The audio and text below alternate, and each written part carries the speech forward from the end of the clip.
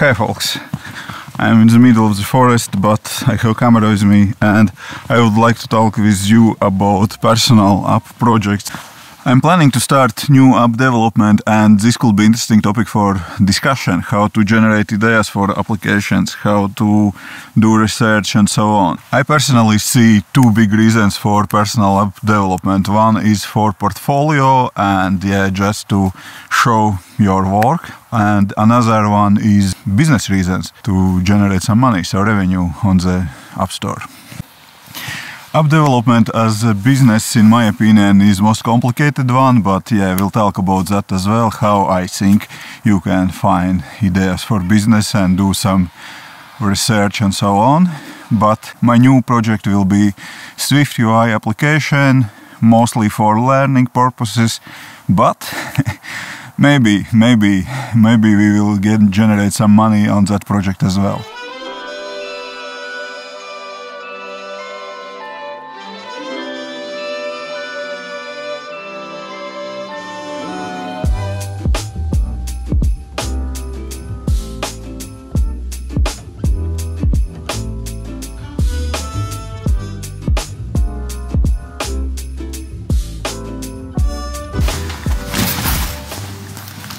So, back from the woods.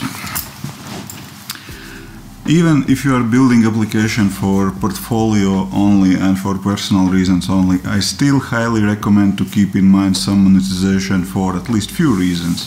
Firstly, that is just really nice to have side revenue, some kind of passive revenue from application which you built few years ago. I have such kind of application in my portfolio and that's really nice. Secondly, if your application will have some serious, uh, more or less serious user base, they will be happy to receive updates. And if you will have revenue from this application, that will be just way more easy to justify time to invest in upgrades, bug fixes, and so on. So, but how to generate app ideas which can generate revenue?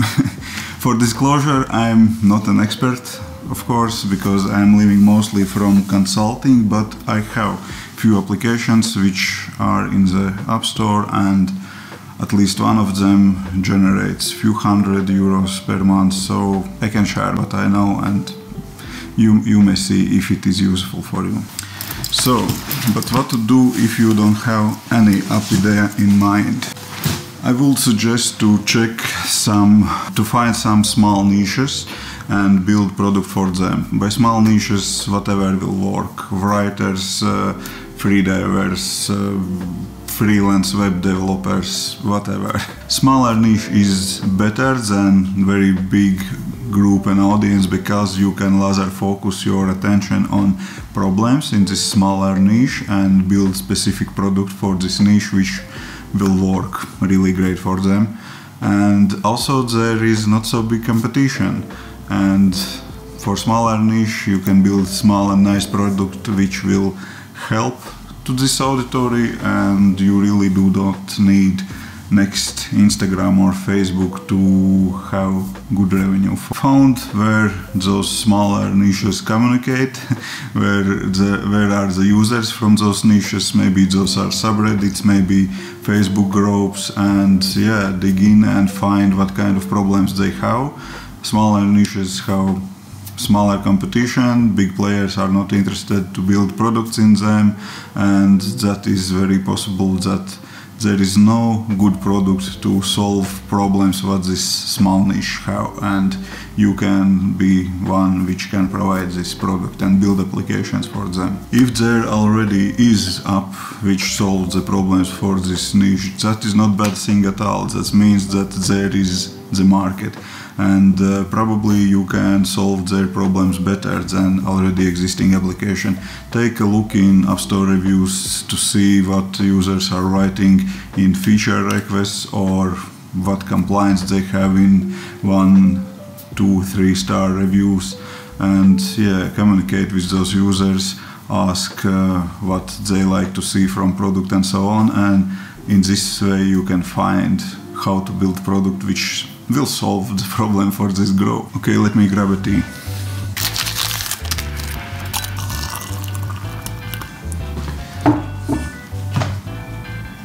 Okay, that's ready. So, if you can find some warm niche for you, by warm, warm I mean a niche where you are already in, where you are the, one of the users of that niche, that's perfect. Then it will be easier to build product for you because you understand that niche or group needs much better. And basically that is how I built my own apps my most popular and still active freediving app was created to train myself to dive and stay under the water longer. Basically, I, am, I created application for my own needs and that works out for me quite well. When I started to build my application, there was already few similar applications in the market and if you will find that there are already application which solves problem in the area which you are planning to solve that is not bad. Basically that means that there is the market and someone is willing to pay money for application. If you have idea for the application and there is no app for that probably those are not so good news for you because maybe there is basically no market for such kind of application and no users or if there are users they are not willing to pay for the application in the next few weeks or maybe months, yeah, probably months, I'm planning to build application. Application will be fasting timer. I'm using one right now, but I'm not really happy with it and I would like to build my own version for few reasons. So first reason, I started to use uh, fasting timers and I didn't find any fasting timer app in the App Store which I really like. I have some compliance for each and any of them, of course, because everyone is different and everyone have different needs. Secondly, if I will build my own application version for fasting timer, there will be many similar functionality which I can reuse for my freediving application because basically I have some kind of timers here as well. This uh, fasting timer I am planning to build it using Swift UI and yeah, that will be a really good chance to test in production my Swift UI code. Third reason, that will be just one more application in my portfolio. Currently I am working on quite long time contracts and basically my portfolio is not updated for a while and yep, could be nice to have a new application here. Last but not least, revenue. probably we will get some revenue from this application as well. And uh, yeah, if you are looking to research market to potential revenue, I have one recommendation for you. So let me show you. That is application, no, not application, service Sensor Tower. That's marketing uh, tool. So you just can open uh, Sensor Tower and uh, enter app name. Let's search App Store first. Let's search for fasting. If I will search App Store for fasting applications, number one is zero app. That is one which I am using right now. There are a few more, but that one is less annoying for me. Let's write it zero. Zero fasting so here it is. So and what can we see? There is 100k downloads in december and 200 key dollars in revenue in december. So definitely here is the market for one more fasting app and maybe a few more. So I'm planning to build this application for all the mentioned and the reasons. If I will be able to slice at least small part of that 100k of revenue, that will be great. we'll see how that will go. But yeah, revenue is the last one point in my reason lists why I am planning to build this application.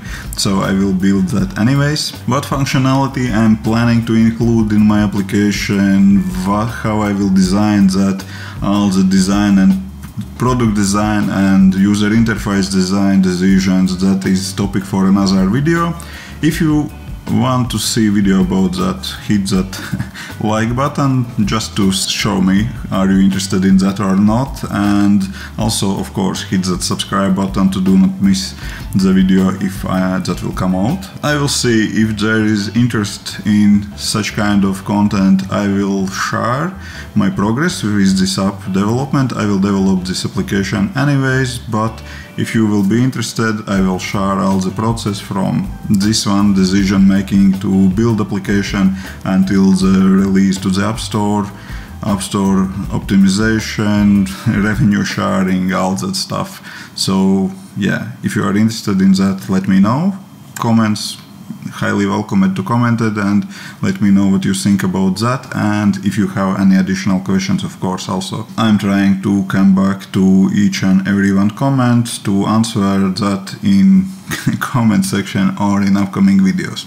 Okay we'll see how that project will go for sure I will share at least end stage of that project to share some release numbers and so on but yeah please let me know if you are interested to know more about process and if you like to see some kind of vlog style videos about this app development process.